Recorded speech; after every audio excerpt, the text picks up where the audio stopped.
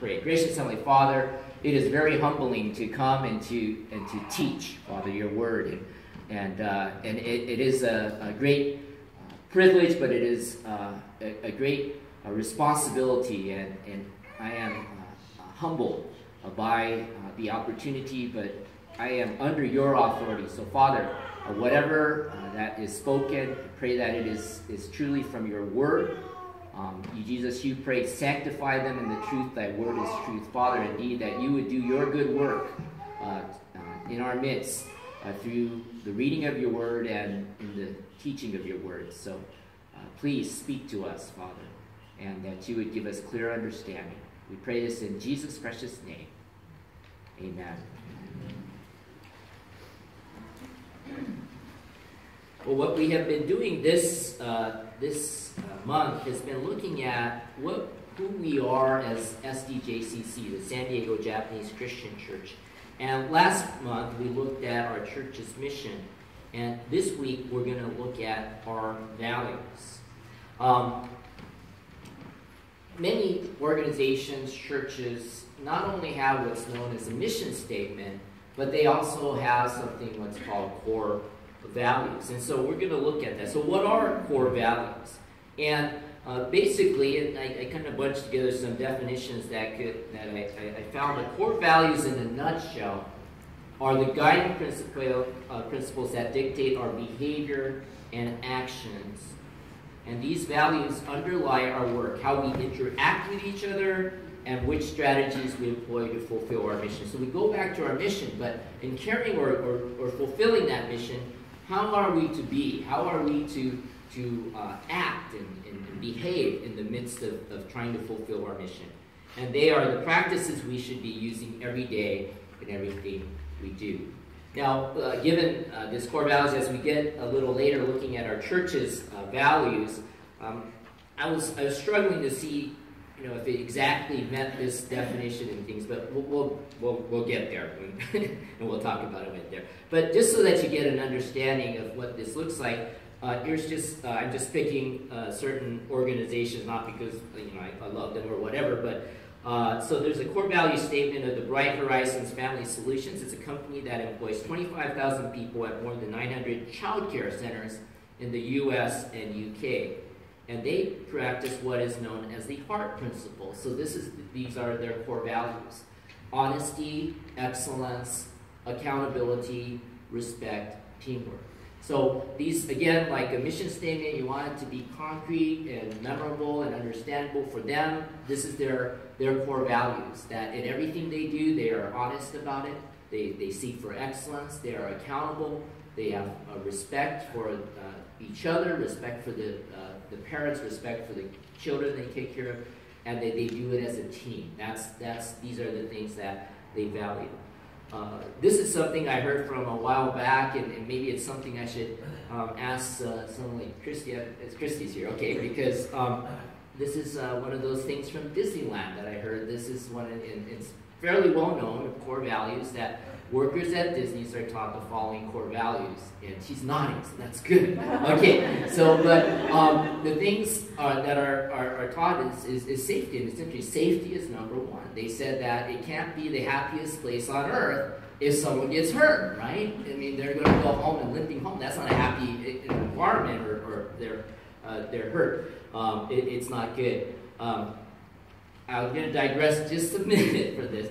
I had a bad, fun, funny incident uh, back when our kids were really small. We were at uh, California Adventure, and um, I, I, believe it was Steven. Steven was still small. He wasn't the big kid that he is now. He was really small, and we were walking around, and, and uh, it was uh, Mr. Incredible. That's what it was. Mr. Incredible was walking around, and he didn't see Steven, so his hand, I think, went boom and, kind of nudged uh, Steven a little bit, and um, um, we just looked at Mr. Incredible, we were just shocked, you know. But that, that was it, you know. We're not the family that, that makes a big deal out of it or anything like that. But we thought it was kind of funny, you know, Mr. Mr. Incredible. He wasn't hurt or anything, but it just it just was kind of funny. And I often wonder how well can those guys see, you know, looking through these whatever it is they're looking through. But anyways, um, anyways, getting back to safety. So safety is the number one practice of Disneyland. Um, and, and that's something that they, you know, keep in mind. Courtesy, and that's something, of course, and then show that they're to stay in character and perform whatever their role. And that doesn't mean just the, the character people. I'm sure if they're people cleaning the streets or, or they're selling, you know, they're uh, retail, whatever, whatever that role is, they are to, to maintain that responsibility and be ready at all times. And then efficiency. Apparently, this used to be called capacity, but it's been changed to efficiency, which is a word that I think we can understand a little bit better. So, as you can see, these core values are there to help uh, the workers or the people in the organization to uh, to operate or to, to behave and act and practice in a certain way. And so this is an example of, of Disneyland. Now, we talked about mission last week uh, for our church. SDJCC is here to share the good news that a dynamic relationship with Jesus Christ is the key to abundant living in today's word. We believe God has given us a mission to reach all people with special resources to reach Japanese speaking and Asian American families want to include anyone who desires a Christian experience flavored by our unique bicultural background and invite you to continue to participate in our activities. So as we think about values, too, some of these values are already kind of mentioned in our mission statement itself. What are some things that uh, are, are important to us? And I'm going to get there in a little bit about what our leadership came up as uh, with as being uh, our values and what's, what's important for us. But going back to last uh, Sunday too, because we want it to be, uh, of course, uh, based on what God instructs us to, to do and instructs us.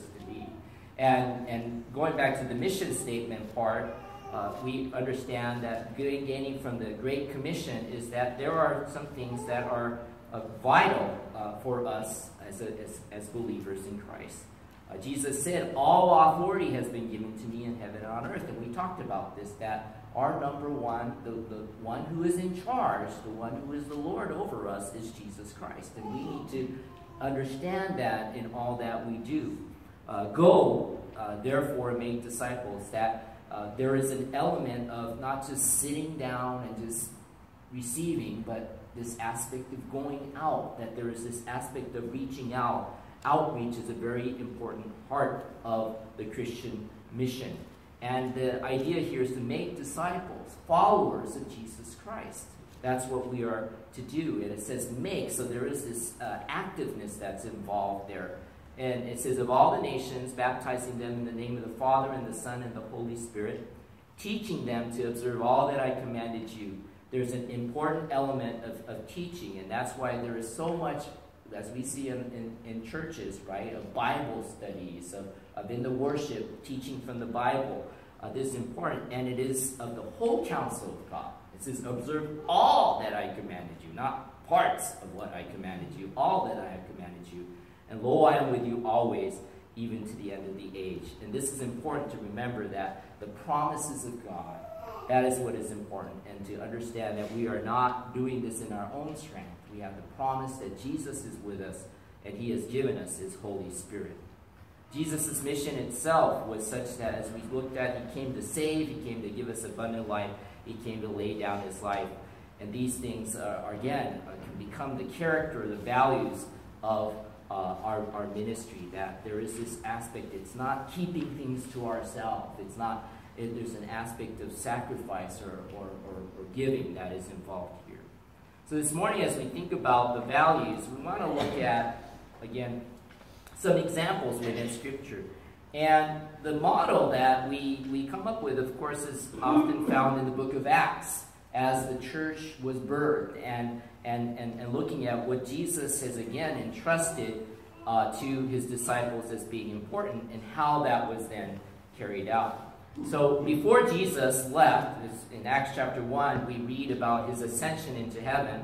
Uh, 40 days uh, during after his resurrection for 40 days he showed shown himself to his disciples as, as the resurrected lord and instructed them and this is one of his last things and he says it says so when they had come together they were asking him saying lord is it at this time you are restoring the kingdom to israel and again this is an understanding of scripture and old testament promises again they're looking at the promises of god and, and the promise is that there is this restoration of the kingdom to Israel. And Jesus' response to them is, It is not for you to know times or epochs which the Lord Father has fixed by his own authority. First thing is really reminding them, trust in me. Okay? The timing of things, it'll come, but just trust in me. The Father knows these things. But, but this is what you need to focus on right now. But you will receive power when the Holy Spirit has come upon you, and you shall be my witnesses both in Jerusalem and in all Judea and Samaria, and even to the remotest part of the earth. Here again, we are reminded, Jesus is reminding them of their responsibility as he before he said, Go and make disciples of all nations. Here, he is saying, Be my witnesses. And he says, Begin here in Jerusalem, spread out Judea, Samaria, and to the remotest parts of the earth. Uh, it kind of reminds me of, of Genesis chapter 12 when God had promised to Abraham, right, that all the nations of the world will be blessed through you. That there is this, this, this understanding of the gospel message, the, the good news of Jesus Christ. Therefore, salvation is for everyone to know, to, to, to come to know. And that is the, as we look at the book of Acts, this is basically the outline of the book of Acts. We see the witness done in Jerusalem, we see the witness done in Judea and in Samaria, and then the witness done to the Gentile world or, or the Roman world as it was known at that time. And in many ways, this is continuing even to this day. Uh, other thing, as we see the church has now been birthed on the day of Pentecost, that the Holy Spirit rains down on the 120 so believers at that time, disciples, and they're speaking in all kinds of languages of the people who are there. And there are people who are wondering what's going on, and Peter gives that great message explaining that it is the day that the Holy Spirit that was promised from before has been uh, given to them. And then he gives the gospel message that they are to repent and be baptized in the name of Jesus. And it says on that day, 3,000 were added to their number. And it goes on to write, they, these people, they were continually devoting themselves to the apostles' teaching and to fellowship to the breaking of bread and to prayer, everyone kept feeling a sense of awe, and many wonders and signs were taking place to the apostles. And those who had believed were together and had all things in common. And they began selling their property and possessions and were sharing them with all, as anyone might have need.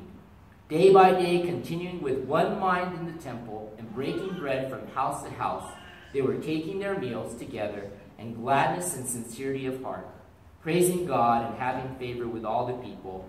And the Lord was adding to their number day by day those who were being saved. So this is we kind of comb over these verses and think about what are some of the core values, what are some of the things that we see uh, kind of being uh, birthed or, or a characteristic of the early church. These are some of the things that we see. They had a total trust in Jesus, right? When Jesus said, you that's not your concern. My father has it under control. You go do this. And when he tells us to do things, we're to obey. But it takes total trust in Jesus. That's one of the things that we saw throughout uh, the lives of the early church. Their total trust in Jesus. Secondly, there was this component of witnessing and outreach.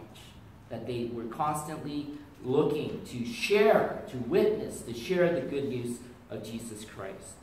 Uh, there was Bible teaching. It says that they followed the apostles' uh, teachings, and basically that's the scripture, the New Testament as we know it today. So Bible teaching was important to them. Fellowship. And when we're talking about fellowship, it is the idea of coming together for encouragement, right? Um, for us, you know, sometimes we tack on fellowship for anything.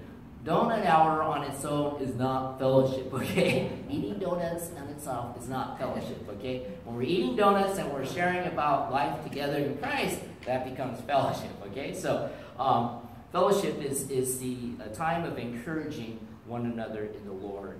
Talking story of Jesus, you know, basically. Communion was a big part. When it talks about breaking of bread, that's mentioned a few times in those passages when they came together, and yes, they came together every day, it says. So what? They did communion every day. I know someone has complained to me, we only do communion once every other month. You know, some churches do it every week.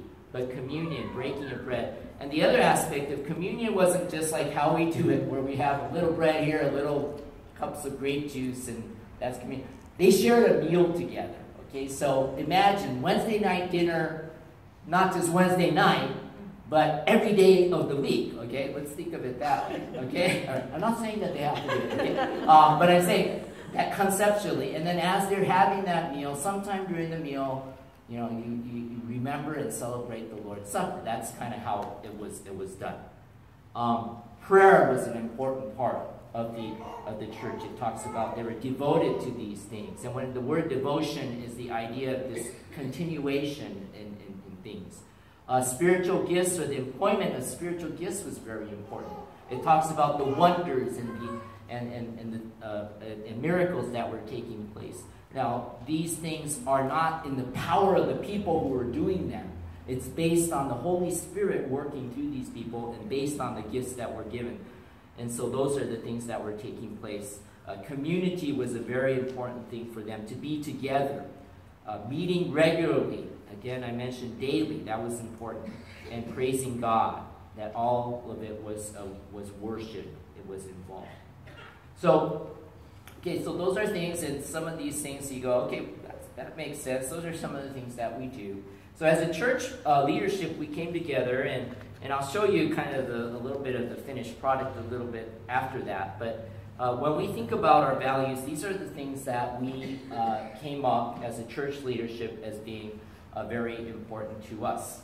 And uh, first of all, we said missional, that we are a missional church. now, what does that mean? It sounds kind of cool, but uh, what does that mean? And so uh, the idea, I believe, came, I mean, it could taken from different, different ways, but the idea that missions, okay, and that is the idea of world evangelization or sending people out to do a missions work, is an integral part of our ministry, that we value that.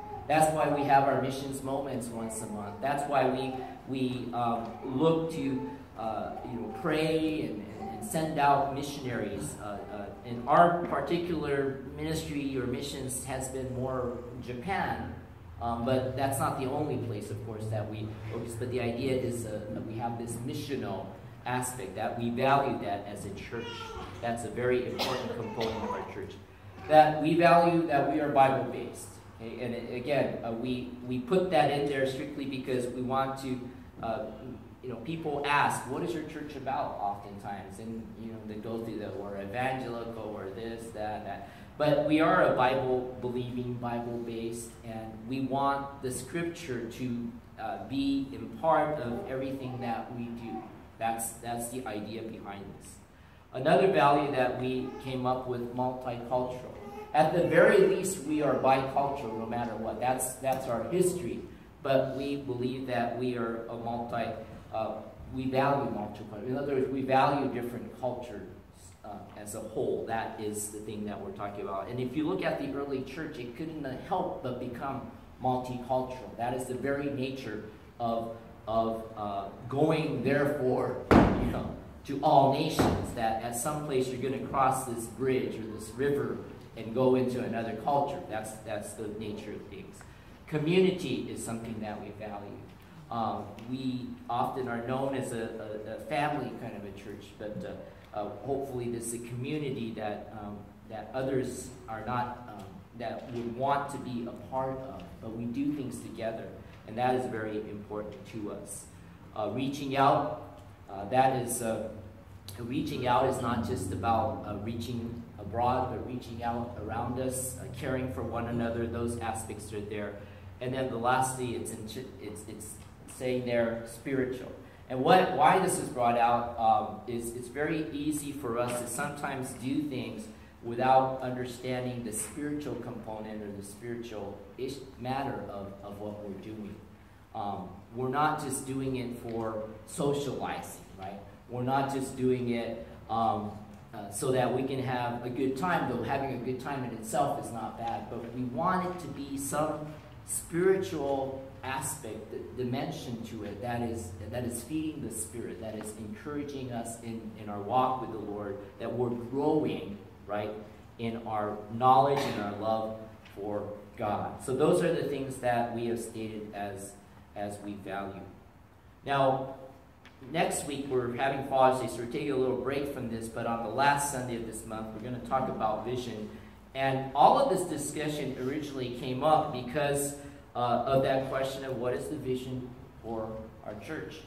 And then we contacted our, our conference, and our conference uh, had been saying that there is a consultant that you can work with, and his name is Buck Rogers. I thought it was great, Buck Rogers. It sounds like beyond, you know, whatever it is, uh, space. But um, that he's a consultant and he, he works with churches. So we, we asked him to come in and we met with him and he helped us to kind of go through this process. Now, one of the things that he shared with us is a thing called a vision frame. And the idea of a vision frame is that there's this frame by which to then look through to, to look at the vision for your church. And are in that frame are these things that are kind of define us as a church family. So I'm not going to go through the process by which we came to these things, but I will show you some of the things that we did come up with.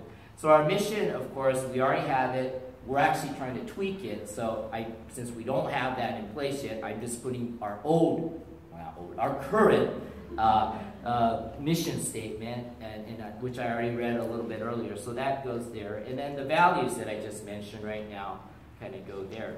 The question then becomes, okay, if we are fulfilling our mission and we are doing these things based on these values, what is the outcome that we want to see? That is outcome in the members of our church and the people who come here. So these are the measures. These are the things that we hope that we see in the lives of our believers. We want to see a personal devotional life. We want to see them you know, worshiping the Lord. We want to see them serving. Want to see them giving and giving, uh, you know, uh, uh, generously, but giving joyfully. Uh, not just about uh, money, but time and all those things. Uh, witnessing and also growing relationships, relationships within, but also within the family, all those kind of things. So these are the things that we, we came up with as the measures. Now, the, this part strategy was kind of difficult, but it was very helpful in the way that we were challenged to come up with this. And, and the way that it was brought up to us was okay, if your members only have four hours in a week, disposable hour, you know, time, four hours in a week, okay, what would you like them to be involved in, you know, within the church ministry? That, that was the question that was asked. Four hours is pretty hard because once you come to, let's say, Sunday morning, and we jokingly say, well, if they go to Wednesday night dinner, that's four hours right there. You know, but anyways, but um, so we're, we're talking about. So anyways, uh, enough talk. This is what we came up with. That, of course, worship service was the first point of contact that we, we, we felt that people should be involved. That's, that's our main community that we come together. But once they're in worship service, if there's additional time, we hope they're in some Bible study, or you can call it fellowship group, something, even the Sunday morning Sunday school. Uh, but something additional where they are in a smaller group of, of believers studying God's Word, and, and that gives for some fellowship, accountability, and other things like that.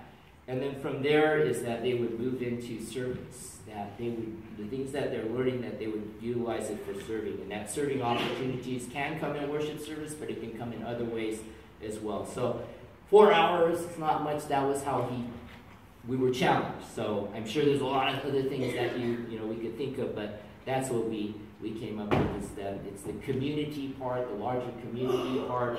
There is the smaller kind of fellowship part, and then there's the serving part uh, as as means by which that they would develop a personal devotional life and, and have worship and serving and giving, witnessing, growing relationships. So those are the things we came.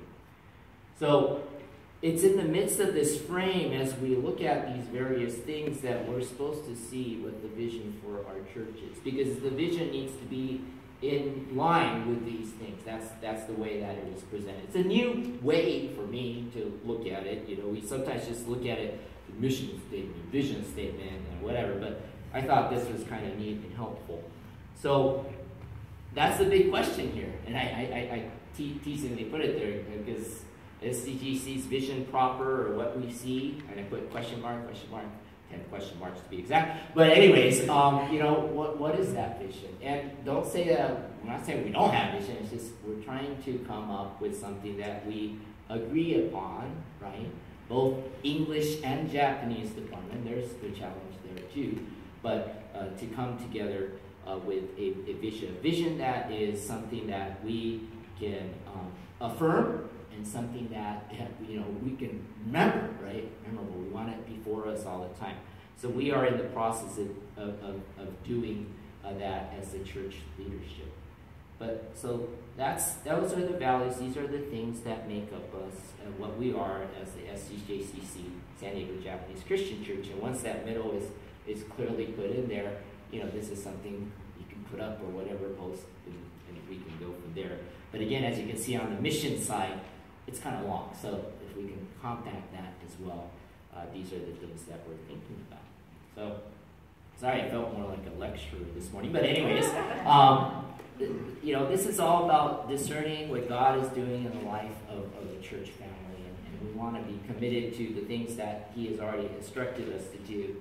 Um, but you know, again, at the core of all of this, talking about core values, but at the is that ultimately we want God to receive all the glory, right? That's that's ultimately more. But within the context, how does God receive the glory? Is that is by by being obedient to his, his, his calling upon our lives. And he's given us a specific that we are to go and make disciples of all nations. And we are to teach all that he has commanded us. And we are to trust him throughout this whole process. That's the thing we got to do. And so these are the things. So, anyways, get back into God's word and uh, um, let's do his will. That's all it comes down to. Let's pray. Our gracious Heavenly Father, we give you praise. Father, thank you that you are you are sovereign, you are in control, and, and you are good, and all that you do is good. Father, help us to be um, obedient and faithful uh, to you and, and what you have commanded us to do, what you desire. And Father, we know your heart, your heart of love for, for the people, for the nations, that you want all people to come to the knowledge, the saving knowledge of your Son, Jesus Christ.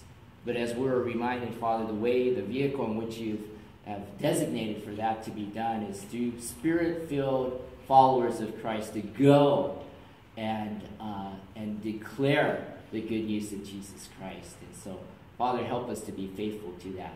And uh, Father, we also know that you want us to, uh, to, to grow in our relationship with you so that we are well fed as we go uh, to share with other people. So uh, guide us in these things, that we would continue to grow and that we would continue to go in you. In Jesus' name we pray these things.